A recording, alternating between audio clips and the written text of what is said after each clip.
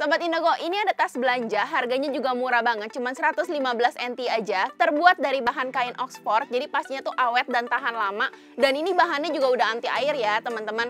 Nah, di bagian bawahnya sini, ini tuh ada rodanya. Jadi kalau misalkan nih bawaan kalian berat, tinggal kalian tarik aja. Praktis banget kan? Makanya buruan pesan di aplikasi shopping Indogo.